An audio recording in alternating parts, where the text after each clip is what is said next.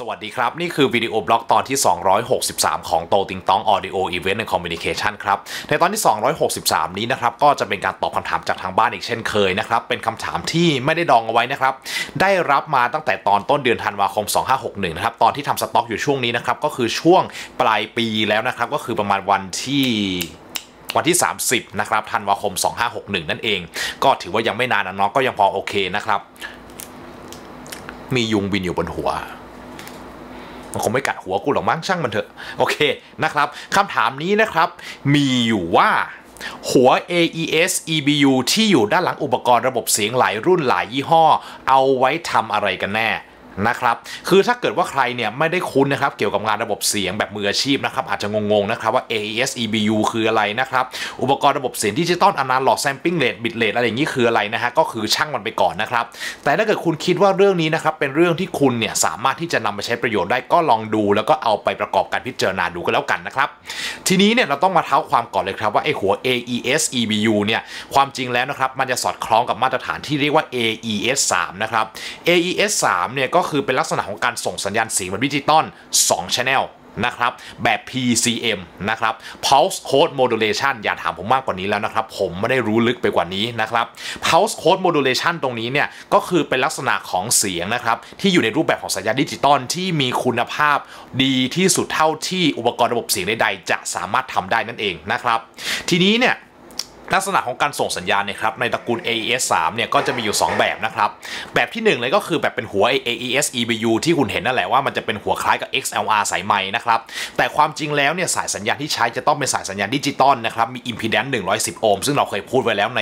วิดีโอบล็อกตอนก่อนๆแล้วนะฮะเกี่ยวกับพวกสายสัญญาณดิจิตอลนะครับทีนี้เนี่ยมันก็จะมีอีกมาตรฐานหนึ่งครับ ไม่ใช่อีกมาตรฐานอีกรูปแบบการเชื่อมต่อหนึ่งนะครับ ที่เราจะมองเห็นได้ง่ายๆในกลุ่มของเครื่องเสียงคอน sumer เลยนะครับ นั่นก็คือ SPDIF ครับ ก็ไอหัวที่เหมือนกับ RCA หัว AV ที่เราใช้ต่อพวกเครื่องเล่น DVD อะไรเนี่ยแหละ แต่ว่ามันจะส่งสัญญาณเสียงดิจิตอล2 Channel เหมือนกันนะครับ ไปยังอุปกรณ์เสียงชิ้นอื่นนั่นเอง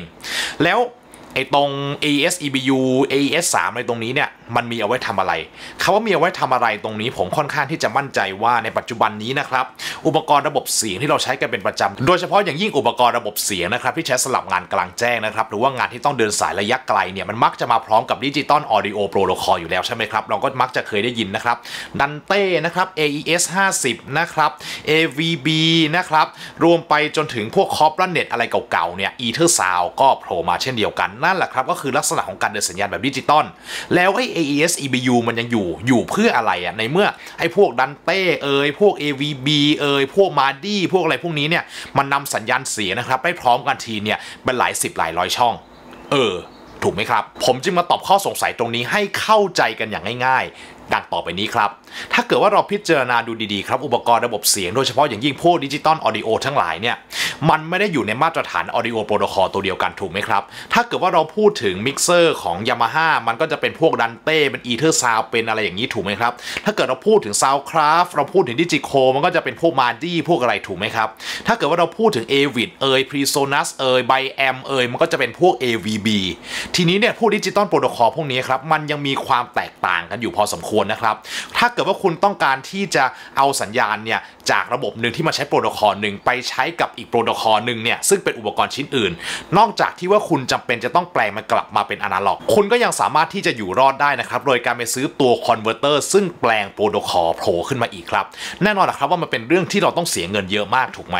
แต่ถ้าเกิดว่าเราพูดถึง AES EBU อะครับผู้ผลิตอุปกรณ์ที่เกี่ยวกับงานด้านเสียงมืออาชีพอะครับแต่ละยี่ห้อแต่ละเจ้าแต่ละรุ่นเนี่ยเขารู้ดีอยู่แล้วครับว่าอุปกรณ์ของเขาเนี่ยมันไม่ได้อยู่ใน digital audio ตัวใดตัวหนึ่งที่เหมือนกันทั้งโลก ถ้าเกิดว่าคุณไม่ได้แคร์อะไรมากมายนะครับเกี่ยวกับเรื่องของการส่งสัญญาณที่เป็นดิจิตอลแบบ 64คูณ64 64 in 64 out 128 in 128 out เต็มที่เข้าสู่ระบบเนี่ยเราพูดถึงอุปกรณ์ง่ายๆ อย่างเช่นพวก system controller หรือ speaker processor ที่รับสัญญาณจาก master output ของ mixer ออกมาเนี่ยนะครับคุณไม่จำเป็นที่จะต้องใช้ channel เยอะขนาดนั้นใช่ไหมก็เลยเป็นที่มาว่าทำไมนะครับอุปกรณ์ระบบเสียงมืออาชีพ ซึ่งเป็น digital audio เนี่ยเขาถึงมักจะเผื่อรู AES EBU ให้คุณตลอดนั่นเองนะครับและถ้าเกิดว่าเรามองในอีกมุมมองหนึ่งเลยนะครับก็คือว่า AES EBU เนี่ยมันเป็นการเชื่อมต่อสัญญาณแบบดิจิตอลประเภทหนึ่งครับที่จะทำให้เราเนี่ยยังคงสภาพนะครับของสัญญาณให้อยู่ในความเป็นดิจิตอลเนี่ยตลอดรอดฝั่งจนถึงปลายทางนั่นเอง คุณลองจินตนาการดูนะครับถ้าเกิดเราพูดถึงสัญญาณอนาล็อกอย่างมิกเซอร์อนาล็อกทั่วไปที่เราใช้กันเนี่ย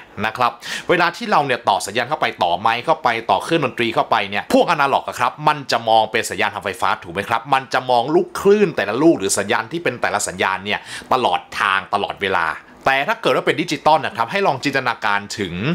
การถ่ายรูปดูสิครับ คุณไปยืนเตะท่าถ่ายรูปแช่ ทุกอย่างหยุดนิ่งถูกไหมครับ มันเหมือนกับเป็น snapshot ของสัญญาณไปเรื่อยๆครับ นั่นแหละคือที่มาของพวก sample rate นั่นเองก็คือว่าเก็บกี่ sample ในแต่ละช่วงเวลาเท่าไหร่ ดังนั้นการที่อุปกรณ์ดิจิตอลเนี่ยมันจะเก็บ sample เยอะๆ อย่างนี้เนี่ยจากสัญญาณที่เป็นอนาล็อกดั้งเดิม แล้วแปลงกลับมาเป็นอนาล็อกอีกทีเนี่ยมันไม่มีทางที่จะเหมือนเดิมกับสัญญาณต้นทางซึ่งเป็นอนาล็อกล้วนๆอยู่แล้ว ถูกไหมครับ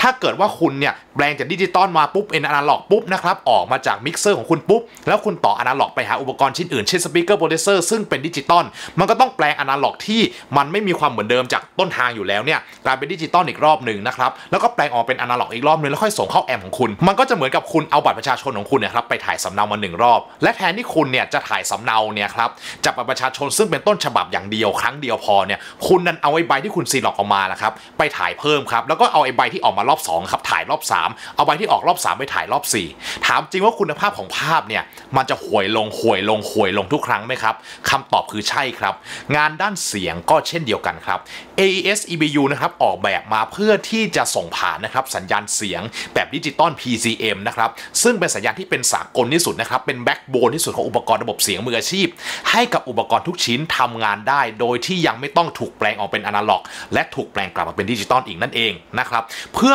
คงคุณภาพนะครับของเสียงเอาไว้ให้ได้มากที่สุดเท่าที่จะเป็นไปได้